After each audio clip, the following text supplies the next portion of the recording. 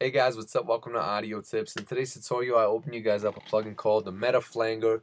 This is a Waves uh, plugin. You guys do have to have certain Waves bundles in order to open some of the plugins I'm opening, and this is one of them. It's called the Meta Flanger. Basically, what it does is it gives you guys a flanger effect. You guys can use it on your vocal or your instrument or anything you guys are uh, are working with. Don't limit you guys' cells because you never know. There's no rules to engineering or mixing. You got your guys' mix button right here, feedback, type of uh, type of uh, high pass or low fat pass filter you guys want. You got a delay, and you got the type of waveform you guys want, and this will alter the way your modulation is gonna sound. But this is basically it, guys. Just want to show you guys what kind of plugin it is, how it works a little bit, and uh, give you guys a little overview on it, show you guys what kind of options it has to offer. And I just did that.